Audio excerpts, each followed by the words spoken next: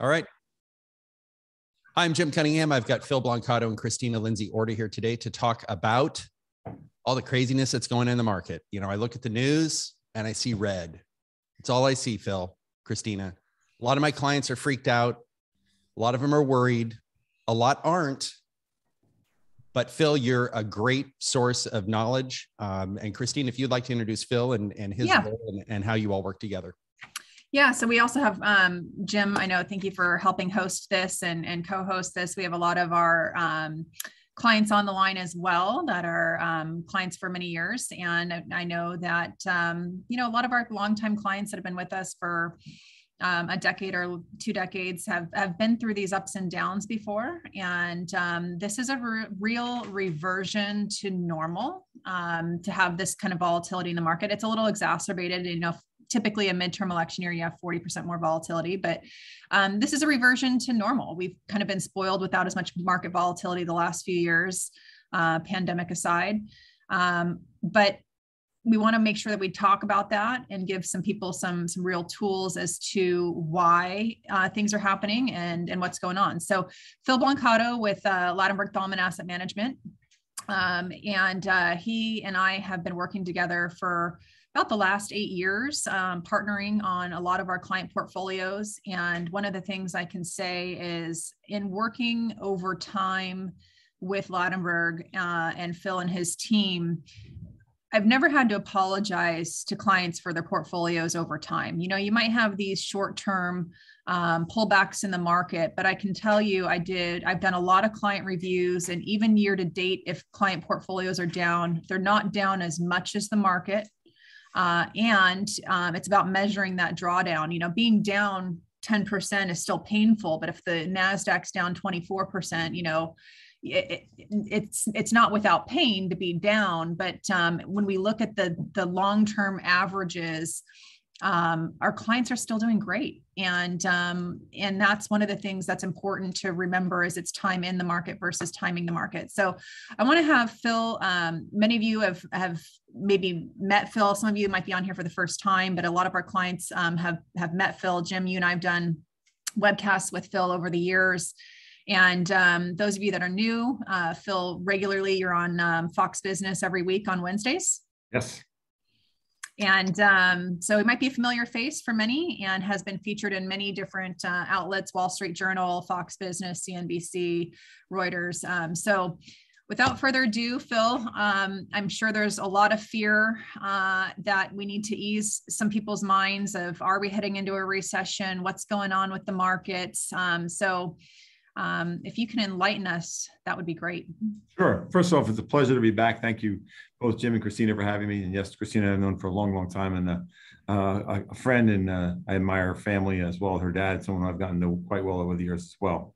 So we would gladly take any questions along the way. At the bottom of your screen there, you're going to see uh, a Q&A or a chat box. If you touch on either one of those, I'll be able to answer those for you as I go through. So you don't have to wait. I already have one from Anita. Yeah. Polito. Thank you. I'll get to that in just a second. It's an excellent question. Um, so I would start off with a couple of fun facts just to think about. First off, if you went back to 1980, uh, the average return of the markets, just in general, is positive. Believe it or not, but it's positive 80% of the time since 1980 forward, the stock market's positive. Go on further, since 1980 forward, our average correction per year is negative 14%. Now, some years there were none, and some years there were there were deeper ones, but generally these moments happen every single year. And most importantly, when you start to think about statistics, and for what I do for a living, statistics really matter. Using history as a guide and understanding that we've been here before and not panicking is probably the most essential thing I do every day is to try and calm folks down that it's never nearly as bad as it seems. And go one further, it generally represents an opportunity. So one of the telltale signs, and I kind of joke about this, is we, we manage a lot of uh, pension fund business, 401k business, things like that. And what we see when things get haywire like this is that the worst of it, people start changing their 401ks and making them more conservative at exactly the worst time. So we're seeing a lot of that right now. So it tells me we're probably closer to the end than the beginning. To give you an example of being to Christina's point, which is really well said, you simply can't time the markets. And I'll give you a fun, simple fact. If you started in 1940 and you looked at every decade from 1940 to now, and you just took out the 10 best days, just the 10 best days, your total return, if you had invested day one of 1940, January 1st, till the end of 2021, your return would have been 50%, probably a good number.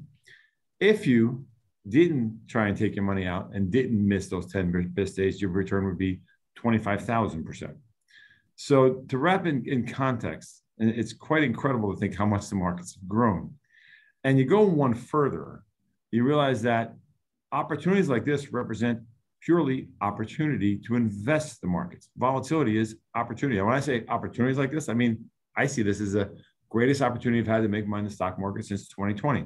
And before that, since 2018. The last two times we've had significant corrections.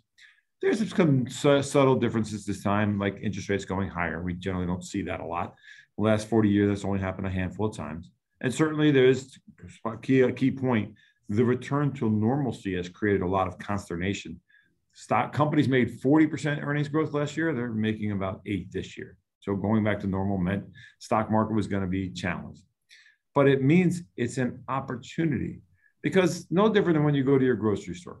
And I'm going to bet when you look at the cereal aisle, you think about the different prices on each box.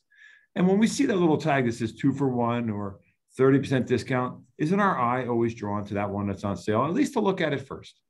So, what do we have for the first time? Arguably, in 12 years, stocks are finally fairly valued. You're paying normal market prices for stocks. And in that, there's a couple of them that are for sure on sale. I can think of a few great tech names. I'm more of a dividend buyer today. I like to earn dividends in time of volatility.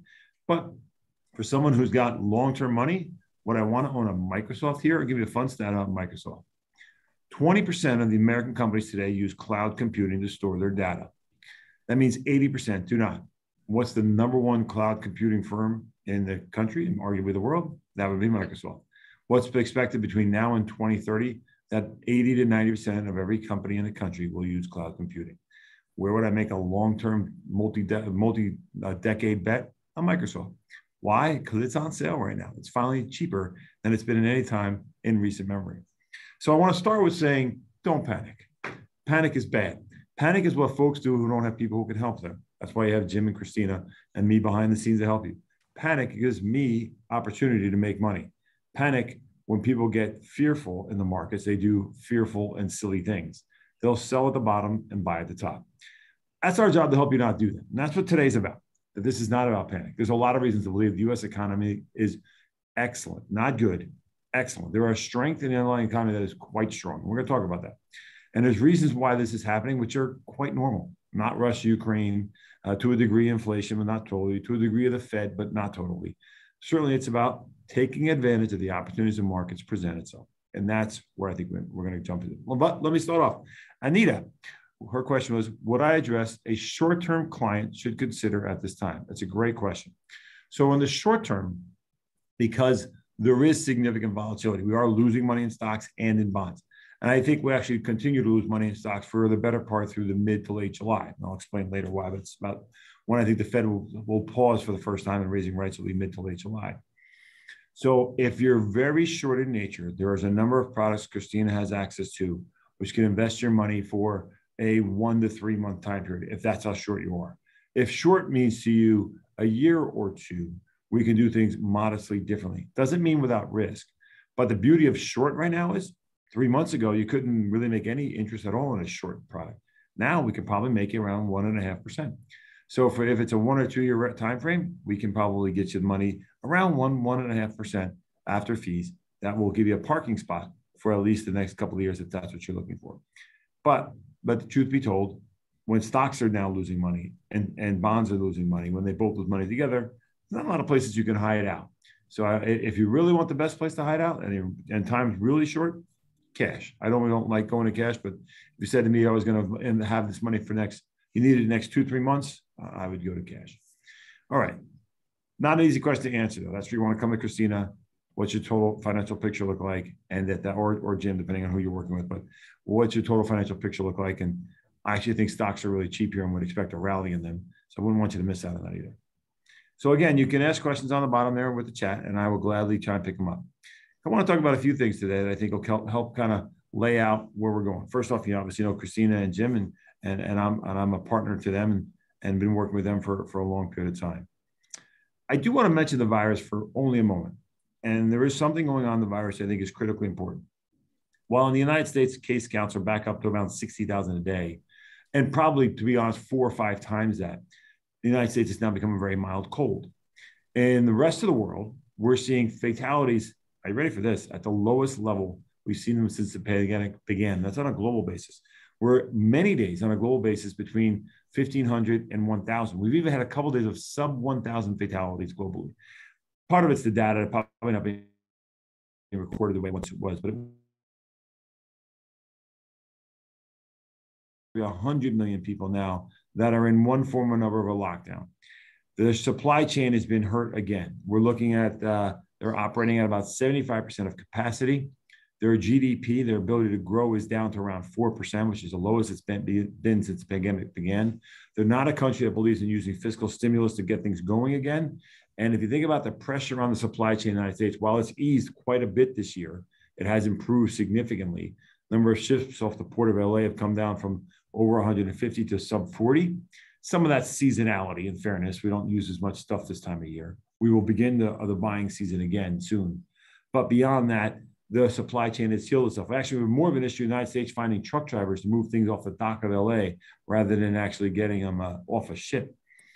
But if China, and you saw this in Apple, when Apple announced that they had a really difficult time with the, the, the, the supply chain beginning to hold, hold them up again and it's going to hurt their revenue, Apple sold off significantly. If you look at why Walmart and Target also had similar situations, inflated prices, gasoline costs, but also inventory issues, where they're getting too much of some things and not enough of others, very lumpy inventory scenario.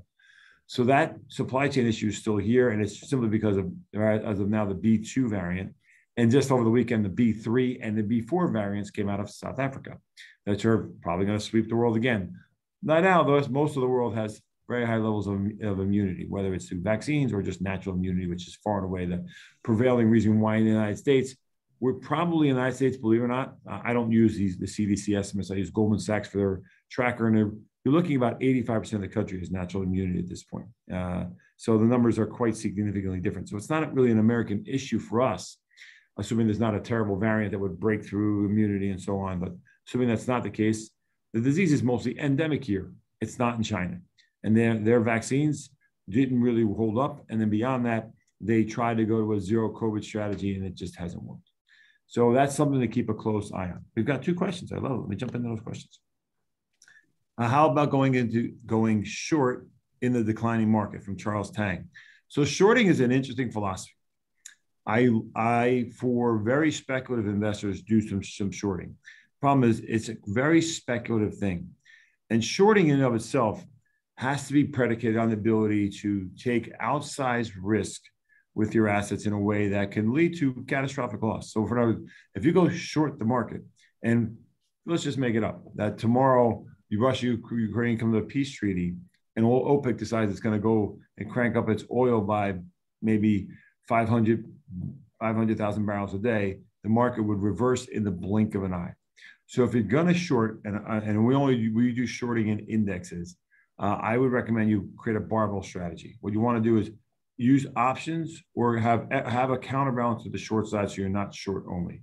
I don't like to do it because, truth be told, too many things can get, get in the way of being short. It's a very speculative trade. I would only, if you're going to go short, use a levered index to do it. Uh, and that's one, one way to be in and out of the market much faster than being short a particular security. One other way to do it, which I like much better, the way I would short is let's say you have some stocks you really like. Microsoft, we use that same name again. Buy a put. You can buy a protective put at a specific price that if the stock falls below that price, that puts down the money and acts as a hedge and less of a short. That's how you win the short side of the business. Just shorting in general, too much speculation. I'm not a fan. Next question from Susan Floyd. For just retired folks, how many months, years do you recommend to uh, to to have cash or have cash on hand.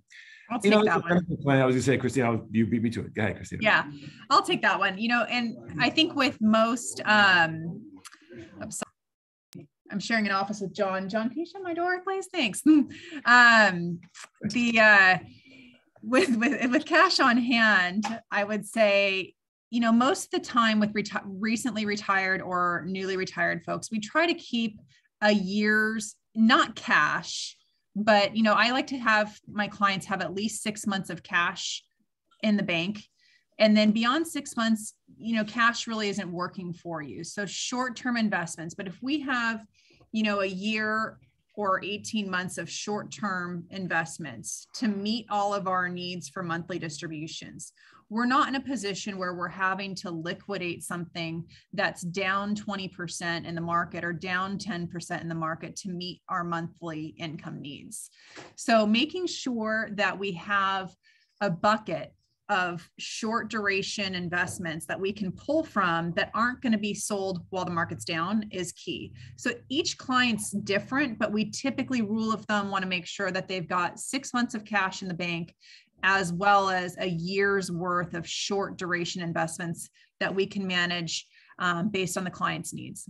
Hey, Christina, I read an article um, that suggested, and I think we've talked about this in the past, if you're just retiring, and your retirement is 35 years, let's say, whatever it is, something you may want to consider is essentially not being invested for the first two or three years.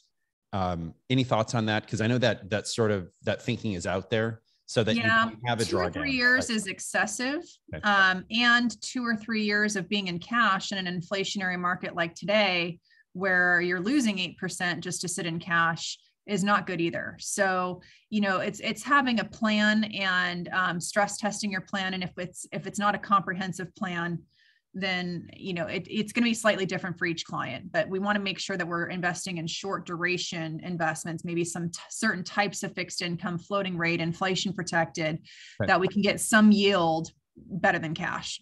Kelly has a question. Um, with the volatility around volatility around the world, is it better to invest in dollars, euros, or crypto? Kelly, I'm going to tell you on crypto. One of the challenges, as from the estate planning standpoint, is if somebody is not able to access their password or their or their token or whatever it is, if you don't have that ability to do that because you've been incapacitated or pass away, sometimes those assets just evaporate. So if you guys have crypto, if you're watching this and you have crypto, you really do need to pay attention on how it's held and whether you can put it into a trust or not, whether you're using a hard wallet, a soft wallet, uh, whatever it is. But you really do need to pay attention to that. But Phil, do you want to do you want to answer that one? Yeah, squirrely. The U.S. dollar is the strongest market in the world, strongest economy in the world not wise to be invested overseas. And crypto, as of right now, due to being faced with significant financial regulation from the federal government, I think it's not a good idea. Besides what Jim just said, so I would say I heard dollars. Yeah, I heard a statistic a couple days ago that uh, the cryptocurrencies, the main ones, uh, Bitcoin, Litecoin, Ethereum, are all trading now with the same exact volatility directly correlated to the NASDAQ. So it's no longer a diversifier like most people had hoped for.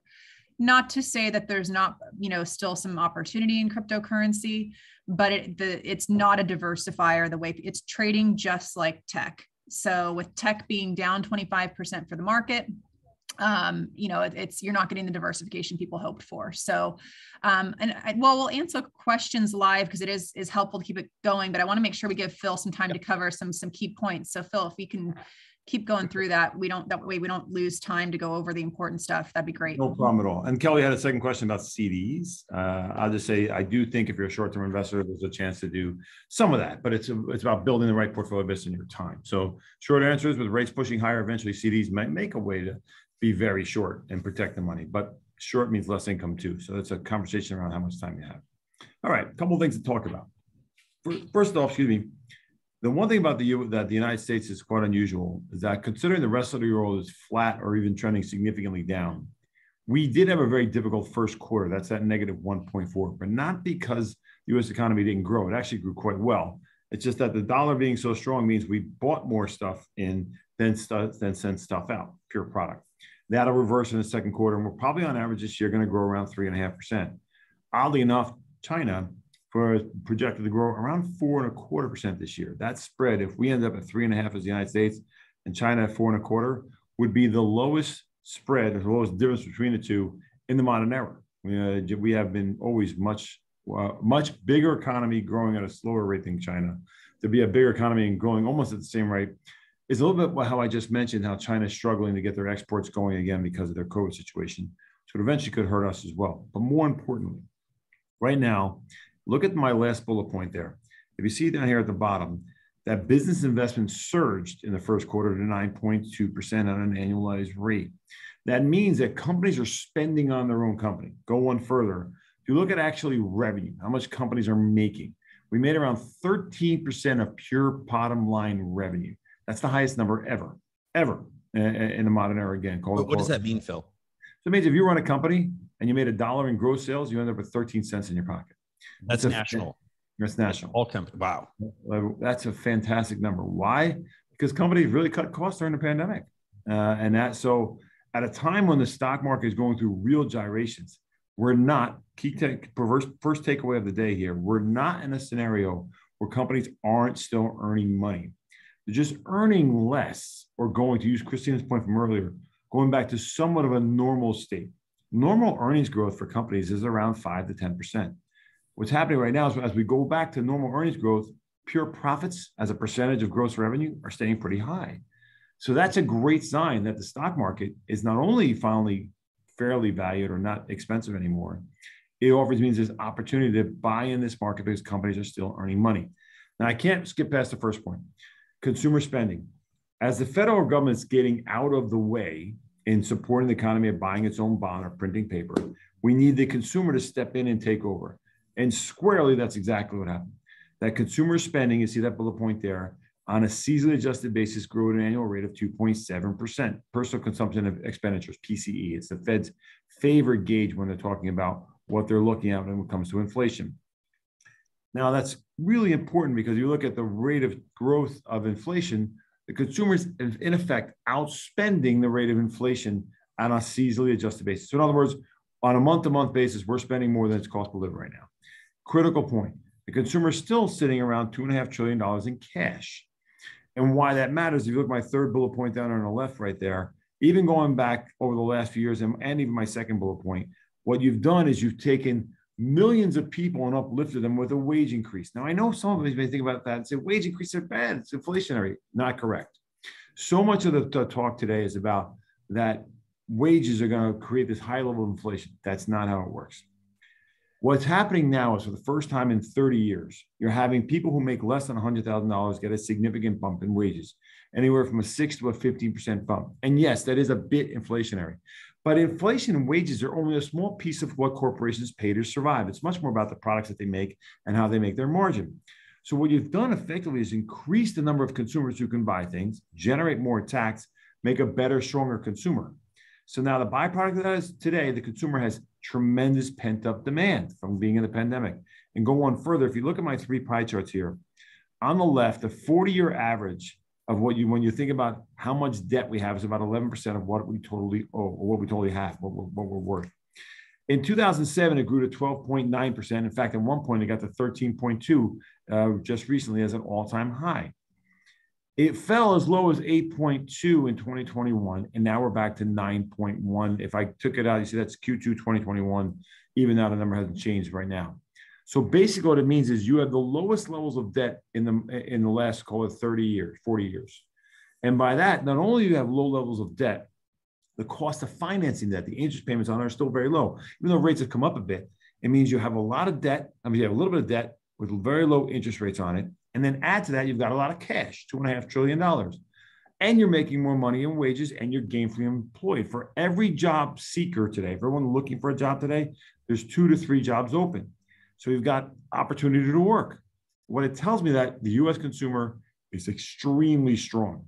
That's why the retail sales number and the personal consumption sales numbers, this how much we're spending, how much we're buying is really strong right now. So this concept of the federal government handing the baton to the consumer to take over is absolutely working. Think of it in this way pure terms. Have you tried to buy a plane ticket recently? They're really expensive. Why? Because Delta Airlines had more people book flights in the month of March ever in its history, and as did five other airlines. What it suggests is that demand is now through the roof. And demand means higher cost. Usually that's temporary, by the way, because demand wanes as costs get too high. But it also means that consumer is capable of spending. And that's key. 70% of our economy is driven by the consumer. So if stocks are less expensive, the consumer is really strong, And it's most of the economy is driven by that. By the way, it's 25% of the global GDP, the rest of the world, and 70% of ours. And the US consumer goes, the rest of the world goes. So that tells me that this talk of recession to me is clearly overdone, very unnecessary. If I was going to, if I wanted to walk with one takeaway today, yes, it's costing you more to fill up your car. If you live in California, six bucks a gallon. And Seven. yes, yes, seven, sorry. and, and yes, you're Today. paying more for food, and you probably pay more for services and goods. But generally, many of those things can be temporary. Not all, a lot of them can be somewhat. Every inflationary period has been transitory. What's not transitory, what doesn't ever go away is wages. Once wages go up, they don't come back down. I had someone make the case to me that rents don't ever come back down. Not true. In, in a rent, and there are times, there have been many times when the housing market weakens because of weakens because of high interest rates, that sure rents can come back down. Uh, now it's less common, I'll give that. But gasoline, absolutely affected by global supply and demand and inflation. Food, absolutely, and those are the two most important things to you. So if you increase your wage, let's let's use a simple example. Let's say you made fifty thousand bucks a year, and you got a fifteen percent bump because you work into a restaurant. Okay, so now your well, now your wages are fifty seven hundred, and truth be told, it's costing you about fifteen hundred dollars more a year to live right now by the increased prices with food and gas. So if you're spending fifteen hundred bucks more to live, but you got a pretty significant wage hike, you know, you you, you ended up making, you know, arguably about seven thousand bucks a year. Aren't you still far ahead of the game? Sure, you're probably ahead of the game by two, three thousand bucks. Now let's just say you got a five percent bump because some only got five. Okay, so that means I got it's a five hundred dollar raise on my money and and um, and and off excuse me five thousand dollar raise on my money and off I go. I'm still way ahead of the game, and that's why I'm not nearly as concerned about this inflationary scare that we're in as so much what you hear on, on, on TV and the radio. So I spent a lot of time on that slide. I'm going to go through a few other ones pretty quickly. This is the labor market. That orange line there shows you 11 and a half million jobs available. Look at how the job market has skyrocketed during the pandemic of open jobs, people looking for work. And the reason why is because we have 11,500 people retiring a day, and the number increased significantly during the pandemic. A lot of people left the workforce because they were simply afraid to go to work or had other issues going on. They received some money, and now they're starting to come back in. I don't think we closed that gap. By the way, normally we have about, you see the orange line, there's always been a time we've had open jobs. It's, it's been accelerating since 2012. And it's partly because the boomer generation is retiring. We need bodies. And I, prefer they come in legally. I'm a son of legal immigrants. I mean, I, I'll let you all figure out the legal side of immigration, but we need bodies. We need immigrants in the United States, probably to the tune of three, 400,000 a year to fill this gap. By the way, that's to a degree inflationary initially, but long term it's deflationary. Why? Have you gone into a McDonald's or a Dunkin' Donuts and use a kiosk to order your food rather than a person? Those represent deflation because you're taking bodies out of the workforce. So one way or another, this problem gets solved. Inflation is still the number one thing that's had one spooked. By the way, it's not about the war, Russia, Ukraine. That's really not what's caused any of this. That's very marginal in it. What really has caused it all is the price of oil. Far and away, oil is in everything, and whether it's uh, the clothes you wear, the carpet on the ground, the fuel in your car, and so on, the, the plastics and baby diapers. So uh, when you think about this real surge, we did have some good signs in the last inflation print that just came by a few days ago. We saw month over month headline inflation only increased by 0.3. So that tells me that there's a good chance we're at peak inflation right now. And in fact, if you watch the oil market, it's it's wavering between $100 a barrel to about $110 a barrel, which means we're finally have enough demand and supply that are kind of matching each other out, regardless of Russia, Ukraine. Now, we do need to have a fix here. In order for, and my thesis is the stock market, are you ready for this? Ends the year positive. And the reason why I think we end the year positive is because one, the Federal Reserve is not going to hike interest rates 10, 12 times. They're going to probably hike 50 basis point, half of 1% in June, another half of one in July, and then begin to wane, slow down, see how, they, see how much they fix things for the month of September. And if I'm right, that the administration has no choice but to find a way to get more oil out of the ground and gas if they want any chance of winning in the midterms. And they're going to have to have to maybe put aside the green agenda at least for a little while. Work with the oil and gas companies to increase U.S. supply back to where it was pre-pandemic. We're still down by about 10 to 12 percent per day in the number of barrels we're producing. Unfortunately, we're starting to work with Venezuela, and I think that's an, a, a, economically and socially not the best idea. But there's there is efforts there to get at Venezuela to bring more oil to market, and uh, there's a trip being planned right now to Saudi Arabia to get the Saudis to pump more. assuming some, by the way, if all it, all it has to take is one country decide to meet the demand, then all the other countries are going to jump in because they don't want to miss out on the opportunity. Right now, everyone's playing nice in the sandbox. It takes the administration to fix this. But assuming there's a, break in the logjam, and we already saw the administration release about 150,000 acres to new oil and gas drilling. They did shut down five permits at the same time. So that's a yin and yang scenario of other lands. But assuming they're going to do something there, and by the way, our peak energy demand is usually the summer. Believe it or not, that's when we use the most oil because of the cooling season and the driving season. We still obviously have to heat homes in the winter, but it's not nearly as much. So we should see a we should see the begin the, the, the usage begin to moderate in September. So think about September as your key pinnacle moment here. So my thought one was U.S. consumers very strong. Thought number two, inflation moderates in September. And why? Elections have consequences. I think the, the, administration is going to do whatever it can to get oil and gas down. Two, the, the demand will, will wane off. And three, inflation will begin to come down at that point because of it, and the stock market will roar. So the, that's my number one thesis here. And by the way, the supply chain has been projected to be mostly fixed by then as well. So assuming China's out of their COVID situation, fully up and running, and we've had some time to get folks driving trucks again, or we work that through. That's the and other Phil, big thing. That. Go ahead. Still on this, I think that this is kind of where there's probably the most variance in where inflation is going to end without, you know, at the end of this year, because Correct. usually you can kind of find some consensus amongst economists. And I feel like right now there's not a strong consensus because no one knows exactly what's going to happen. We know that we're headed down. How quick and when and what is is the wild card um, because of the supply chains. But I heard um, you know, the Fed fund, the Fed target for inflation at year end is four and a half.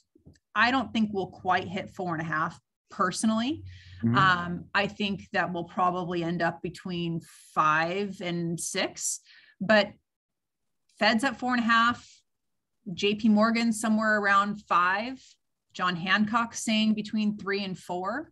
So you have this everyone right. everyone's kind of you know between three and six but the point being, we're headed down.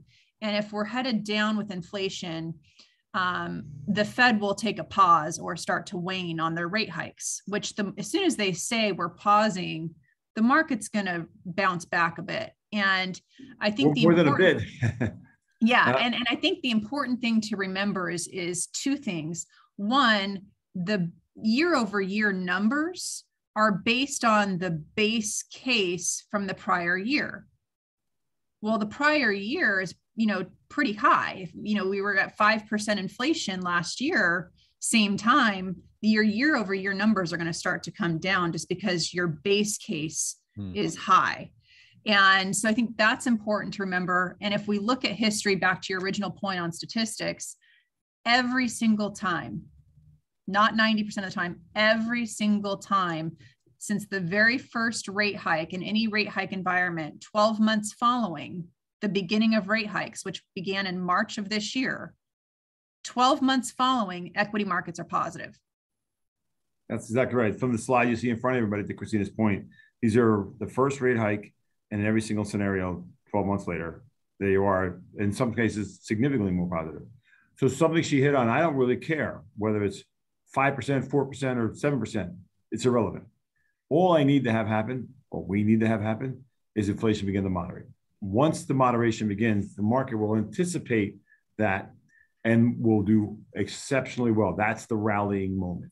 So and, and it gives the Federal Reserve a chance to pause, to Christina's point, and just the idea that inflation begins to moderate will send the market significantly higher. That's exactly that's our thesis, and that's why we think market ends the year positive, not negative. All right, so just to her point, just touch on a few things. As I mentioned earlier, corrections are normal. See those red dots?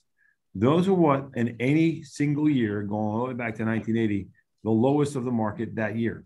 And notice in almost all of them, not all, but darn close, in every single one of them, the market ended up usually significantly higher. So just give you an idea, we were down 34% in 2020 and ended the year at plus 16. So these are normal events, everybody. No reason. In fact, they're not normal from the standpoint that volatility is your friend. It's not your enemy. Volatility is that moment to change your risk profile, So volatility is that opportunity to actually go out of your way to maybe take some of your cash holdings and invest it in equities. Personally, uh, personally, this is what I do for a living. And you know what I would do when I'm doing my own personal assets is buying every stock I can. Uh, every dollar I can get, I can grab to put in the market. So I want to buy things when they're cheaper. It's just that simple. And I think that's how you have to look at these opportunities because they are, as I opened, an opportunity. This is why the market sold off. It is not because of Russia Ukraine. It is not necessarily because of inflation. A little bit. It's not that big a deal. I, I don't not buying in that the consumer is going to go into recession because of temporary inflation. And I still believe it's temporary. It's every inflation environment been temporary. Maybe it's not going to be three, six months like anticipated, but it's certainly not four or five years. Remember, demographics matter. We have lots of older folks with lots of money who don't spend like they used to. That's what caused inflation to go back down, not go higher. Consumer spending habits more matter to me than the current price of oil. What's happening though is on the other side of the pandemic, these bar charts represent what we call just general earnings growth. And you notice in 2016, we had very subdued earnings growth. That was a flat year in the markets. A normal year in 2017, a normal year in 2018, slightly above it. Then we had 2019. Remember, that was an unusual year. The stock market went very high, and yet uh, the, the earnings growth was quite subdued. 2020, stock market ended up 16%, yet we had a scenario where the stock market ended up positive. This was all because of the pandemic. So on the other side of that, look at this number here 45% earnings growth. And now what are we expecting this year? Nine, going back to normal. Why did the market sell off? Because the market had to adjust prices of stocks for normal earnings growth. That's it. As the federal government got out of the way and stopped printing money, pushing up asset prices on everything, homes, cars, everything you buy, and the stock market, when the federal government gets out of the way, like they are now, going back to normal means normal earnings growth. Single digit earnings growth, in this case of nine, and sales growth of seven means single digit stock market growth. And that's why we've sold off because we had to get stocks to where they were reasonably priced again. And sure, inflation plays into inflation matters because earnings will slow down more if inflation stays too hot for too long. Sales will slow down more if it stays too hot for so too long. But let inflation moderate by, by the end of the year, it becomes a yesterday news. Market's anticipatory, stock market rallies around it. It's it's going to come down to a few things, and, and, I'll, I'll kind of close with this and take as many questions as I can. Okay, this is one of the basic things we look at is PE ratios. Why I think the market rallies. This is my third point. Stocks are no longer expensive. So when we look at what we call a premium or a discount, is my cereal box more expensive or is it on sale? Right now, stocks versus their 10 year average of the price of the company, price of Microsoft, divided by how much they earn, we call that a PE ratio. I just showed you the earnings a minute ago, are cheap. If I showed you that at the beginning of the year, it was a 30% premium. So we went from a 30% premium to a 3% discount. That means finally stocks are less expensive. Same thing for forwards. It's just another way to look at it, forward earnings expectations. That tells me we are at the bottom of the sell-off. We could go a little deeper if the Fed surprises and hikes a bit more than expected. If some of the language they use a little bit more serious, if the war in Russia Ukraine becomes bleeds into another border, let's say a Poland or a Finland or a Sweden or something like that, that would be very problematic. Stripping out the unusual moment here. If things go as expected, stocks are probably at the bottom of the sell-off here, and we begin a slow grind higher after the second rate hike in July. And and Phil, that's kind of to that point. Um, I mentioned consensus. You can typically find some consensus. Right now, there's a you know the consensus is we're heading down on inflation. The range not a strong consensus, but we're going lower. But to your point, not as important. But the consensus I am seeing amongst all economists is that there is not a recession likely in 2022 or early 2023. To your point, unless there's some anomaly with the war or the Fed, you know, oversteps their bounds. But all of this, because there's no recession likely, because we do have a strong consumer, that means corporate earnings have a lot of room to exceed expectations. And if and at the end of the day, the number one thing in the stock market is corporate earnings drive stock prices. Exactly. Couldn't say it better. There's a lot of room to run. And I know that that's why even JP Morgan, they said, okay, originally they were expecting eight to 10% positive growth on equities for the end of 2022. They said maybe we're looking at more like five to 8%, but they're still predicting a positive, you know, positive rate of return on the S&P for 2022. Right. That's exactly right. So that means if the S&P is down 17%, pile in, pile in, enjoy the ride higher because you're taking advantage of emotional reaction to headlines that aren't nearly as bad as they may not to be. I happened to be on a, a broadcast yesterday. I was on Making Money with um, Charles Payne, and the anchor got mad at me, and the other guest didn't believe me. On Twitter, everyone was beating me up saying the consumer's in terrible shape. It's just not factually true, and it's Correct. just not true. And, and, and at that, the U.S. economy is in quite good shape. We're growing. We're not shrinking. We're not contracting. We're, we're just growing less than we did last year because we had this abnormal growth from all the all the work the Fed did. So a normal growth rate for the United States is probably about two percent. We're still going to probably go around three, three and a half. That's good for stocks. And, and, so, so and to your point on the consumer, um, there was another statistic that came out this morning from First Trust.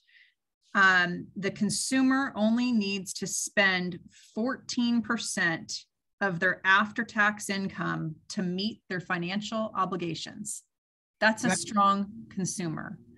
That goes back about like debt, like debt payments on credit cards or something. Yeah, that goes back to the, the chart I showed earlier when I, when I yeah. talk about this here. Consumers yeah. are not a lot of debt. Look at that, nine percent. So if you make a dollar, I'd argue you only owe physical debt. Oh no, say it differently. If you're worth a hundred thousand dollars, that's your total net worth. You have nine thousand dollars in debt. That's basically the lowest ever in your lifetime. And but here's more important: you're financing that nine thousand dollars still at rates that are probably two and three percent. Which, by the way, if anyone had, if you know history, we know rates were a heck of a lot higher, not but ten years ago or twenty years ago. In fact, look at the bond market here. This bond market represents when interest rates were much higher. Used to make money in bonds. Part of the problem in our portfolios today is that we lost money last year in bonds, and we're probably going to lose money this year in bonds. As interest rates push higher, you lose money in bonds. Prices go down as rates go higher. It's a seesaw relationship. Once interest rates level off, which I think happen at the end of this year, and then we'll make about two, three percent on our bonds and go back to stop losing money. But we're going to do different things in the portfolio to make you money. Part of the relationship I have with Christina is that as a money manager for many of you, we're going to have to be more active. We're going to have to take advantage of what markets give us. We're going to, to do different things than we've done in the last 10 years when the bond market is not as fruitful as it once was because interest rates go back to normal go back to giving us muted returns every single year. What's part of the problem why you're losing money in your portfolio this year is we're losing money in stocks and in bonds. That doesn't normally happen. By the way, we made money in stocks and in bonds in 19 and 20 and 21. So I'm sorry, 19 and 20. So now we're kind of paying for that. We're paying for the other side of unusual markets a few years back. Now we're on the other side of that. This should all work its way through the system here by the end of this year, going into next year. Yeah, we have a few questions here. Um, Charles asks, do you think the California real estate market has peaked and would now be a good time to sell the California investment real estate. Charles, I, uh, I think that real estate affordability is driven by wages. I mean, and you guys chime in on this, Phil and Christina. Wages are very high in California. You can't hire anyone for less than twenty dollars an hour in California. I, I, was speaking with some clients uh, last week. There are two engineers at Google, a husband and wife team. Their W two earnings are 1.1 million. They live in a two million dollar three bedroom two bath house in Palo Alto the numbers are just crazy high, but that's affordable for them because they, they have the the earning power uh, to pay for it. But I mean, I personally think California is going to become like um, a lot of parts of California will be like Central Paris, Central London, uh, Monaco, uh, just these really high end places where people want to retire to and people want to live and um, you know look at santa barbara. I mean the wages well, what i will what i will yeah. say though jim is because uh, i've got several clients that have been doing home purchases and um, mortgage loans and in speaking with one of our mortgage lenders this morning um, we're seeing appraisals come in lower. We're not seeing we're not seeing the you know 10% over asking price. So you are starting to see a slow. Does that mean real estate prices come down necessarily that's you know no one can prognosticate that. But what you'd still have in california is a lack of supply. Right. so whether that means you have prices come down i think you at least see a leveling at a minimum. And we are starting to see appraisals not come in for the home price.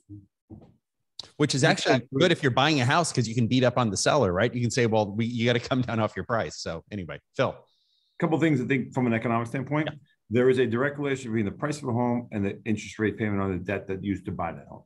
So when interest rates were 3% on a 30 year, now they're five and a half. So what's happened is we've seen a 5% correction in the price of, of, of used homes and about a 3% correction in the price of new homes, which is minute.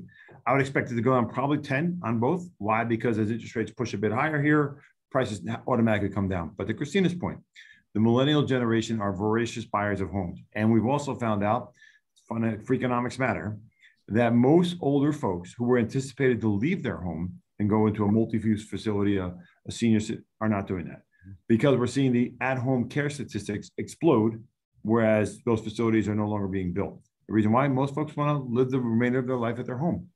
So what's happening is the boomer generation was expected to flood the market with houses. That didn't happen. We went through six years of underdevelopment, to Christina's point. Uh, basically, after 2008, the number of homes we needed to build per year was 1.5 million. It's only about 750,000. So we are significantly below supply of new homes that we need. So I wouldn't expect the prices to come down a bit. Location, location, location, like always. So think of it in this context. Simply enough, homes are up 30% in value over the last 24 months, really the last 12. They'll probably collect by five or 10. And that's it. Because demand is high and supply is limited even though higher prices are there, I do agree that I think prices will level off and come down five or 10% because. I would say there's a very kind of granular issue with California is if you own multifamily in California, there are so many laws that protect tenants. A lot of clients say it's too risky because it exposes you to liability that you cannot insure, and they're just getting out of the California rental market. That's a kind of a different different topic. Uh, Anonymous asks, with the consumer spending is mentioned, why does the hit on the stock for a company like Target, or what does the hit on on a stock for a company like Target say about corporate earnings and the broader economy going forward? I think you answered that, Phil. Yeah, I'm going to just take the other side of what the market's been saying. Yep. What the market has said with Walmart and Target that the consumer is about to slow, and I just don't agree with it. I think this was much more about Target and Walmart mismanaging the supply chain issue that they had in their hands, and not and, and didn't ex- expect the wage issue to have as much impact on their bottom line as they had happened. Their gross sales numbers for both firms were up, not down. So it's about those companies. I don't think we're in a, anywhere near a consumer-based recession yet. It's just just not what's going. That's just not where we're at today. And Anita asked, "Do you think interest rates may cap at around seven percent and then begin to taper?" It wasn't clear on that. Uh, you want to call the number? What What are you thinking? Sure, I think we're there now. So there, you could argue interest rates now they're not at seven. Inflation is at eight. Interest rates on the ten-year U.S. Treasury are now are 2.9%, which means your mortgage, which is pegged to the 10 year treasury, is around 5.5%. Now, key point here I do think the top line inflationary number has peaked, but I don't think interest rates have peaked. I think interest rates are going to push higher here. That interest rates will go to around three and a half percent on a 10 year treasury, which means your mortgage is probably going to go to about six percent, maybe six and a quarter, which is the peak of the housing market and, and as far as prices declining. So when you see that reversal and mortgage rates begin to go back down, as eventually the 10 year comes back down, the housing market will turn. So to so to connect that to the next question from Venkat, it's mm-hmm. simply that I don't expect a bubble because there's too much demand for houses, but I would expect housing prices to come down a bit. I do think interest rates push higher here through the end of the summer, simply because we know the Federal Reserve is going to raise interest rates at least half, if not 1% more, maybe 1.5%. So if they do that, structurally, the bond market pushes higher right in lockstep.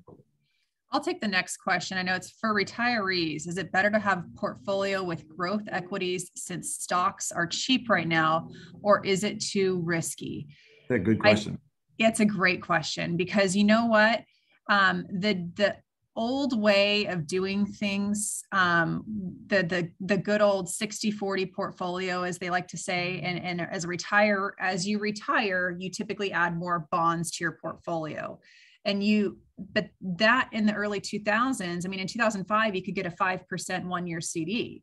So 5% income on a million dollars used to work for some people, but you can't get with interest rates being so low for so long.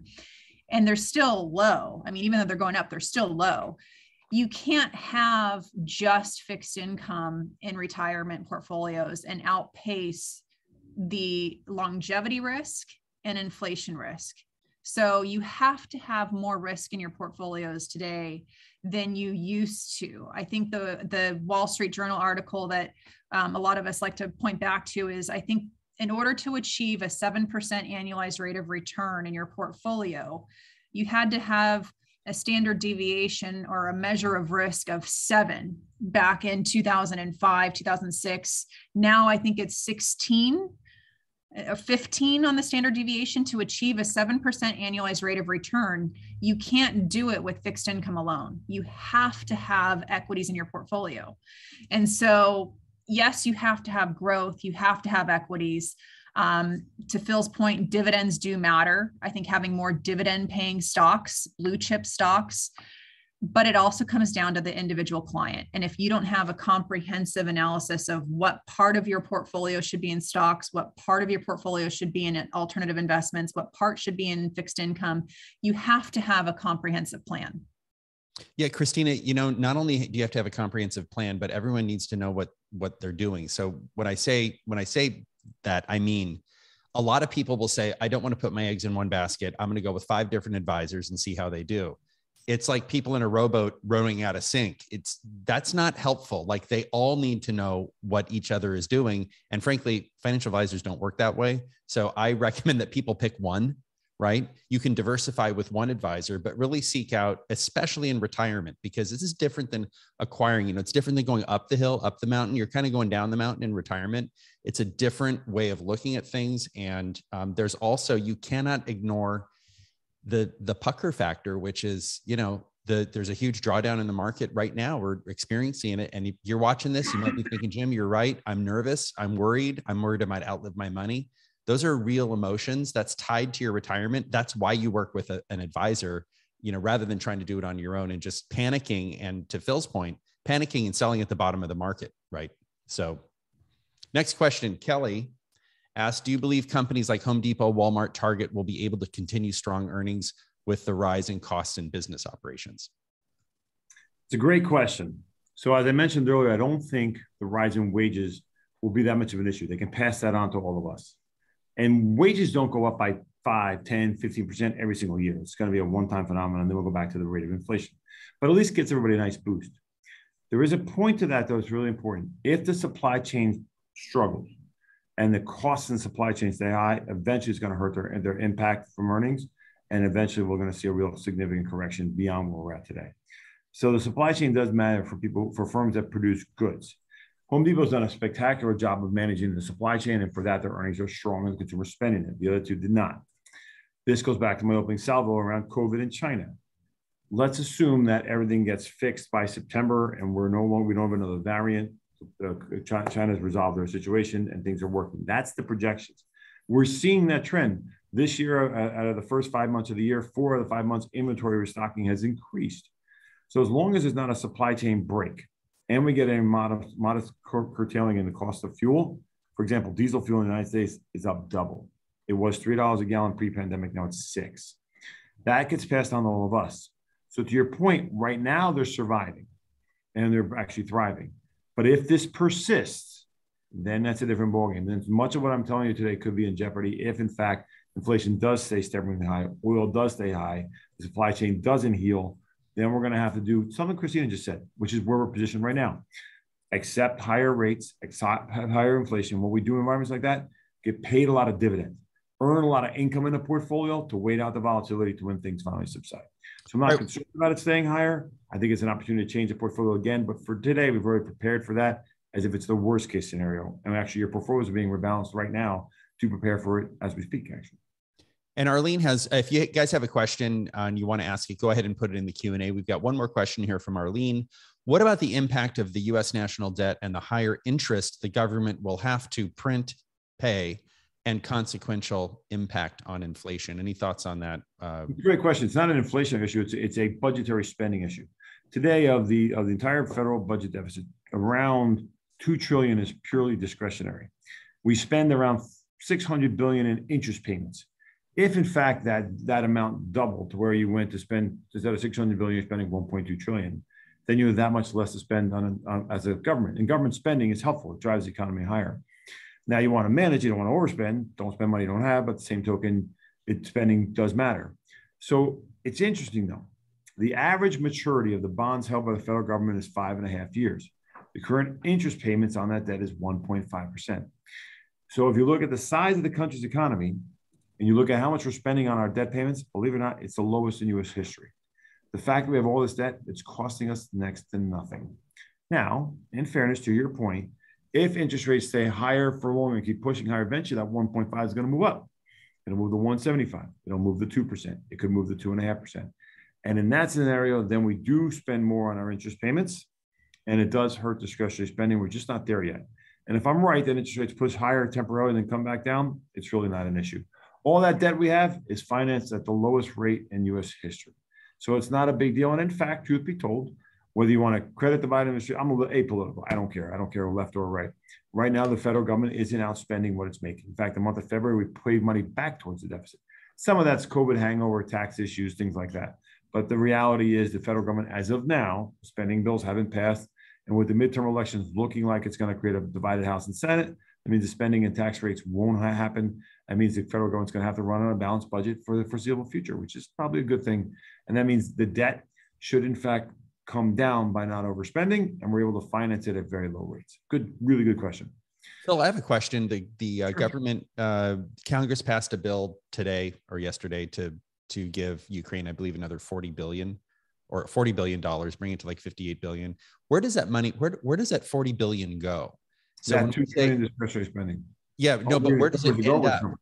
Does it come back to U.S. comp defense firms essentially, and is that an inflationary type of uh, spending? I mean, is that kind of countering the inflationary, you know, pressures? Not inflationary, but you said something which is really interesting, uh, and I don't think people realize this. When when the federal government says we're going to give the, the Ukrainians money, they're not giving them money; they're giving them weapons. Who makes those weapons? Lockheed.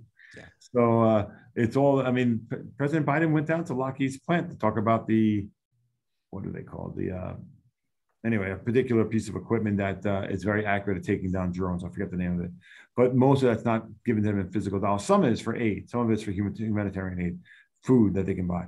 A lot of it's in actual physical goods, uh, and that goes back to the United States and our companies. So government spending drives economies higher. Now, you want to manage your spending. If you're not increasing taxes, but you're ballooning your deficit, that can be problematic to the earlier question. That's not where we are today. We just got out of that fact, we're going the other way as the Federal Reserve is beginning to take money out and out of it's actually holding it's actually pulling money out of the bond market and giving it back to the Treasury, which is sitting in reserve. So we're actually taking money out of the supply right now, which is why interest rates have pushed a bit higher. Quick fun facts. I mentioned a couple of those in the beginning. These are corrections that have happened all the way back to 1982. And notice every time we've had a correction of 14% or higher, look at the returns one year later. In every single scenario, the market was up except for one. Two years later, every single scenario, the market was up except for two. So it's not to say that it couldn't happen, but boy, I like those odds. You know, when corrections happen, generally the market recovers and recovers quite quickly. Look at how these double digit corrections were followed by significantly higher double digit growth in almost almost every scenario. Time to buy stocks, not time to sell them. And typically, I think the uh, average, another fun fact, average rate of return one year following midterm elections is positive on average 36%. So we have two things working in our favor. The beginning of rate hikes that took, took place in March this year, 12 months following that time frame, typically positive on the equity market, um, 100% of the time. And also one year trailing midterm elections, positive on average 36% on equities. So a couple other fun facts. So this gives you an idea how long corrections, uh, how long it takes to recover from a correction. So you can see generally to recover from a correction, on average, four months. These bar charts here all represent all with recovery times of when we had a correction, correction between 10 and 20%. So traditionally, it means right about four months. Once, if I'm right, that July is the beginning of the recovery, July into August, that'll set us up to be recovered by the end of the year. Um, skip that guy. Um, that last one, these are all kind of fun, all similar ideas here, but just gives you an idea. What, sorry, hang on one second. There we go. Sorry, PE ratios on the left there. As I mentioned, stocks already gotten cheap, so I won't bore you with it. Notice my chart on the right. Whenever we have we hit correction territory, average rates of return in the I did it again. I'm sorry. Average rates of return in the months after will almost always positive and at that around 6% in the beginnings of the recovery. So it's not like we got to wait a year to get our money back. We usually get it back pretty quickly. Uh, and that's that's more than 65, 63% of the time. So history again on our side is being able to recover quickly once the correction ends. Let's get past that. Some things you might want to consider in your portfolio and work with Christina or Jim. One, floating rates. These are called leverage loans. It means they automatically pay higher rates of interest as interest rates push higher. Well, we're expecting the Federal Reserve to raise interest rates at least another 1%, which means that'll put the coupon that you'll get from a floating rate security right about the same you'd get from a high yield bond. And yet high yield bonds have an average maturity around six years. Floating rates have a maturity of three months. So that's one things we one of the things the tactics we employ in a market like this. The other thing is buy dividends, good old dividends. These these charts here on the left, the blue chart represents dividends. The gray part chart represents companies that don't pay dividends. Notice every time we've had an inflationary period, and this was negative but less negative. In many of these other environments, the, the, the non-dividend payers were negative in gray, and the dividend payers were blue. What are we doing right now in your portfolios? Adding dividend payers as the outweight in the portfolio. Good example, 41% of the entire stock market return is due to dividend payers going back all the way to the 30s, especially in times of interest rates. All right, so I'm going to open up my screen here. Phil, can you speak to that for just a quick moment? I know Jim and I had a conversation, um, I think a couple weeks ago. And I know that you and I spoke about this back in April um, in, in Big Sky, and we were talking about the if you're buying an index, I think it's over the last 20 years, if you just bought the ETF index, you don't get the dividends. If, you do, you just get lower dividends. Lower dividends. And that was a difference of about a 200% rate of return over the last 20, 30 years. I can't remember if it was a 20 year time frame. Over the last 20 years. And, and what that means is the reason why in an index that's not a dividend focused index, the other stocks that don't pay a big dividend will draw down the actual earnings of it. So in an environment like this is what we try to do. One, we, we tend, tend to use active managers or active funds, which can focus on companies that are going to pay a bigger dividend, or you got to buy a dividend weighted ETF. So what we've done in your portfolios is that is by, if you're in our ETF portfolio, using dividend weighted ETFs, or, or the mutual fund portfolios being very actively managed dividends. If you're one of our institutional accounts, you know we're getting a yield in some cases as much as 4% in stock dividends. Think about that. The stock market just years, ends the year flat, not up or down and we earn 4% in dividends, well, then, hey, we just did 4% in dividends. So there are ways to survive this. All right. Well, Phil and Christina, thank you very much for uh, spending time with us today. And uh, make sure you like us uh, or subscribe to us on YouTube and click the little bell so you're alerted uh, when we release new content. Thank you very much, uh, Christina and Phil. Thanks, Phil. Thanks, thanks, Jim. And we'll have a recording for our clients too, um, as well, emailed out for anyone that wants it. But uh, that'll be emailed out on Monday in our weekly economic update. And uh, if anyone wants to reach out to us, they can reach out to us through um, My Ascent Wealth. And uh, if you were to contact us, our website address is myascentwealth.com. And uh, I think that that wraps right. it up for today. So thanks, everybody. We hope we gave you some uh, peace of mind. Thank Take you. care. Take care.